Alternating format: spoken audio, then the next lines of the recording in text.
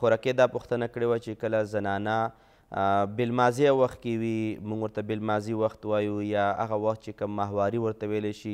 اصطلاح د شرع کې ورته حیض ویلی شي په دې وخت کې زنانه نوکان کټ کولی شي که نشي کټ کولی یا زنانه د خپل بدن د ویښته صفایي کولی شي که نشي کولی آیا شریعت په دې حوالې سره څه وایي دوستانو یاد ساتئ چې خاص کر کې مې زنانه دي دا مسله او سره د نور آینده مسایلو په غور باندې واورئ شاید چې تاسو ته به څه ناڅه فایده ملاو شي د شریعت مسله دا ده چې کله یو سړی په حالت ته جنابت کې وي حالت ته جنابت دې ته ویلی شي چې لامبل په فرض وي او یا یو زنانه ده هغې باندې لامبل فرض شول داسې حالت یې شو نو په دې وخت کې د جنابت په حالت کې د نوکان کټ کول د ښځې او سړي دواړو لپاره چې کله غسل په فرض وي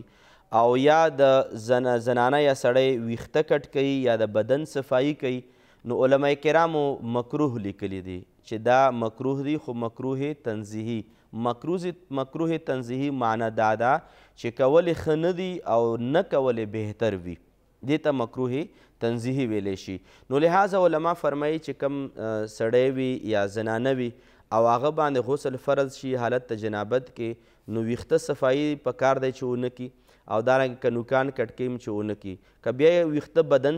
بدن صفايي کوي د ویښتو او که نوکان کټ کوي نو په حالت ته صفايي کې کول پکار دي نو د دې په ضمن کې علماء کرام دا هم لیکي فتاوا جاتو کې راځي علماء فرمایي چې لکه څنګه حالت ته جنابت کې چې چا باندې غسل فرض شي که نارینه زنانه دي نوکان نه دي کټ کول پکار دارنګه که زنانه په بیمارۍ کې وي په ماهوارۍ کې وي او دارنګه په حیض حالت کې وي نو هغې له هم د بدن صفایي نه ده کول پکار او دارنګه نوکان هم نه دي کټ کول پکار بیا زه عرض کول غواړم چې دا کول څه ګناه نه ده که مثال طور پر چې کمی زنانه